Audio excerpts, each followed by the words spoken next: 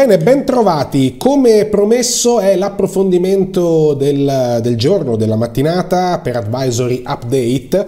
Parliamo di fintech, parliamo di startup, parliamo di un nuovo modo, eh, un nuovo modello di investimento per gli investimenti insomma eh, in, questa, in quest'area, in questo settore, anche se non è esattamente così, insomma non è propriamente nuovo. Adesso vi spieghiamo di cosa stiamo parlando e allora ci facciamo aiutare dal nostro ospite che è Matteo Masserdotti, fondatore di Viceversa. Matteo, eccoti qua, buongiorno e grazie per la disponibilità.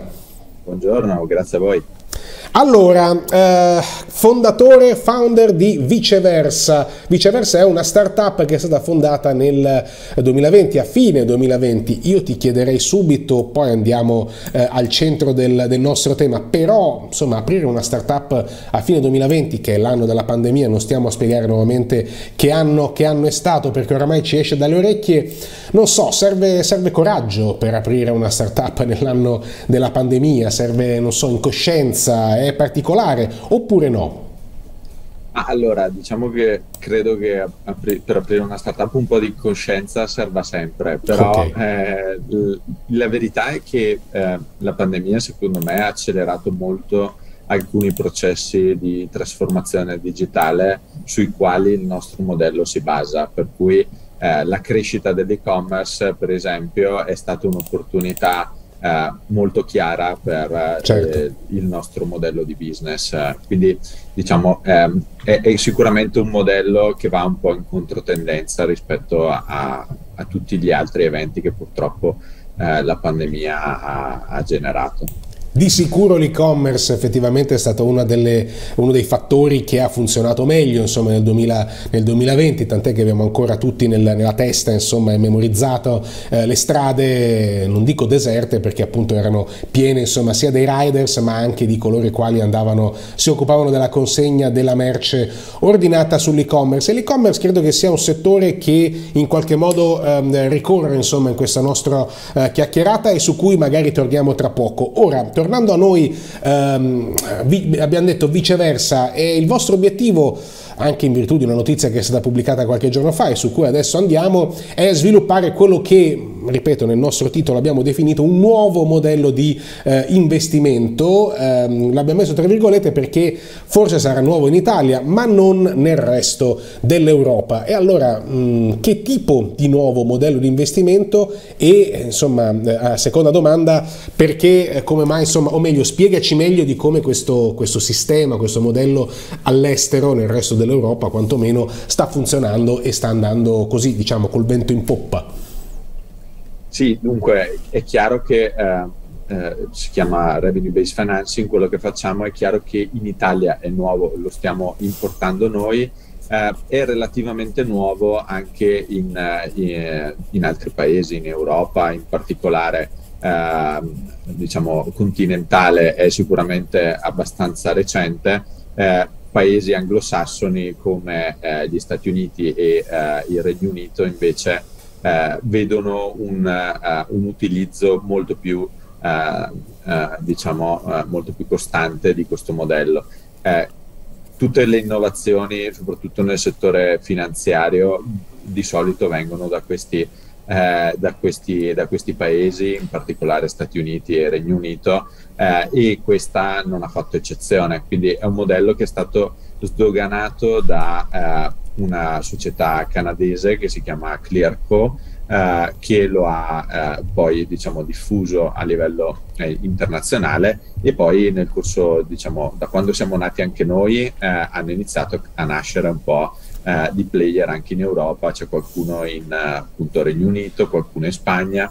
Fondamentalmente ci occupiamo di investire in aziende digitali, prevalentemente e-commerce, attraverso una metodologia basata sulla condivisione dei ricavi. Quindi eh, l'investimento viene eh, rimborsato eh, e noi rientriamo del nostro multiplo di investimento attraverso una condivisione dei ricavi. Quanto più le aziende crescono, quanto più velocemente avviene il rimborso del multiplo, quanto meno le aziende crescono, quanto più eh, lentamente avviene questo rimborso.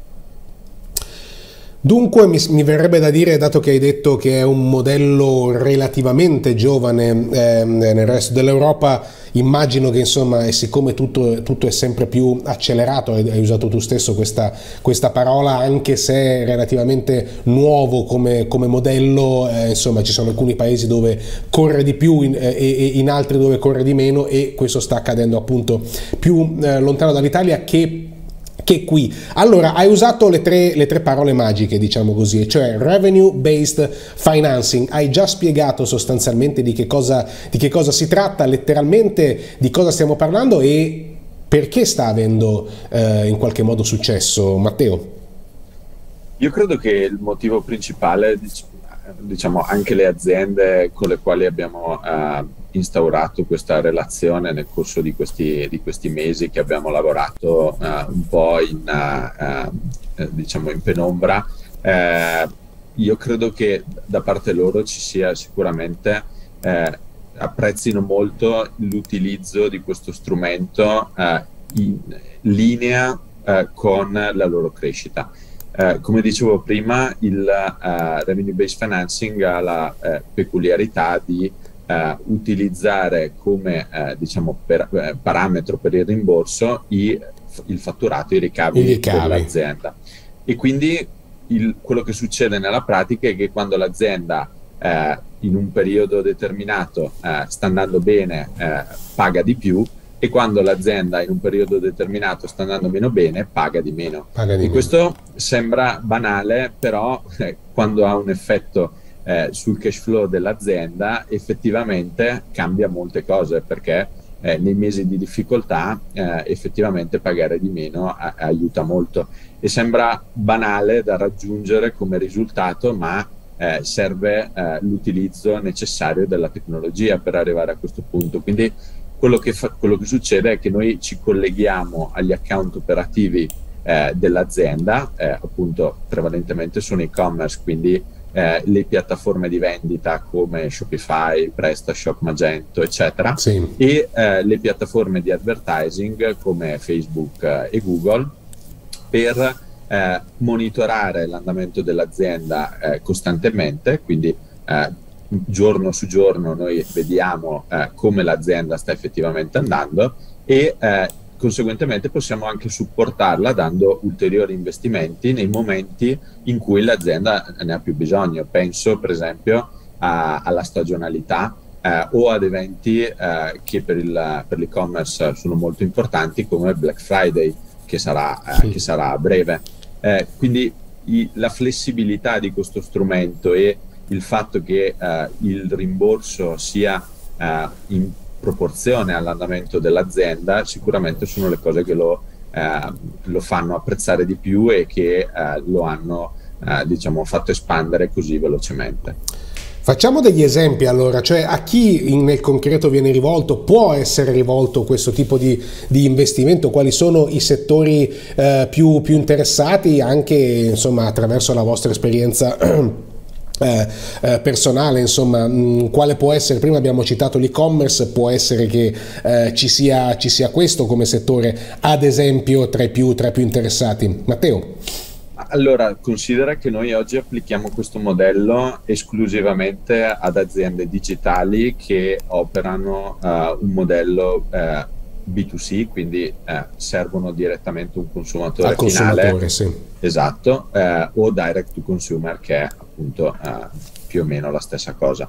Eh, prevalentemente questo perché eh, investendo esclusivamente in spese di marketing, eh, questo tipo di relazione, cioè l'investimento in marketing e la generazione di una crescita del fatturato, è, eh, è molto tipico del settore e-commerce e dei eh, modelli di business B2C o D2C.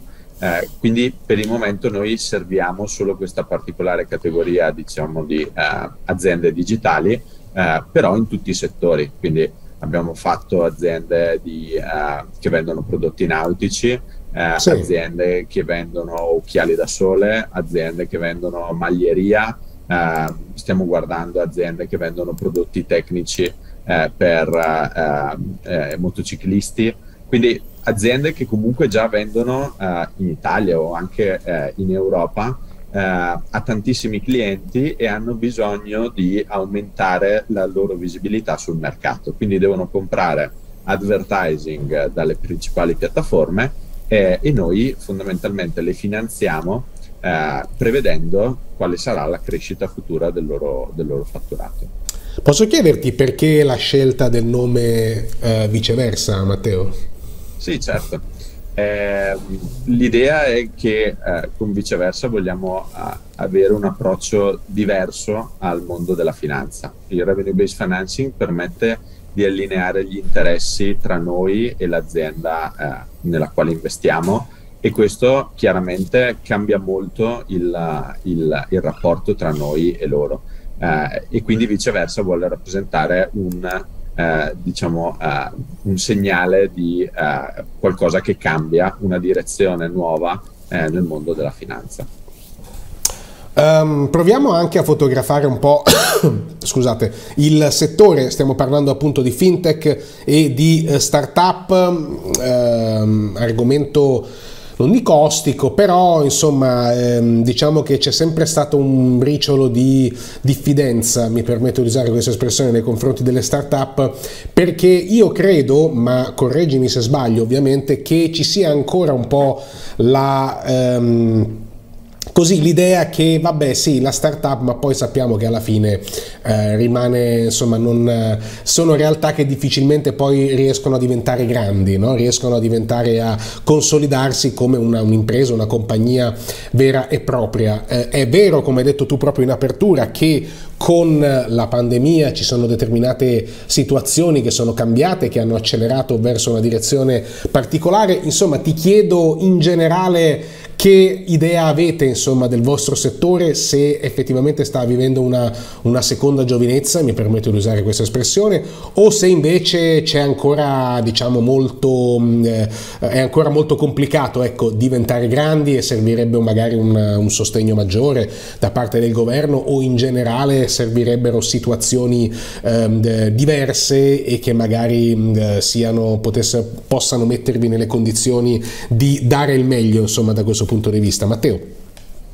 Ah, allora, sicuramente argomento eh, molto complesso e anche diciamo con tante eh, possibili sfaccettature. Servirebbe eh, un'ora, tu dici, per eh, snocciolare questa cosa. Okay. Un discorso a parte, però in, in, in, in sintesi, per come uh, noi stiamo approcciando uh, questa opportunità, le aziende che si rivolgono a noi non devono essere necessariamente startup intese come aziende che hanno un modello di business estremamente scalabile o disruptive a livello internazionale. Noi eh, ci rivolgiamo ad e-commerce che hanno magari anche una presenza locale e vogliono crescere, per esempio, uscire dalla Lombardia e arrivare in tutta Italia.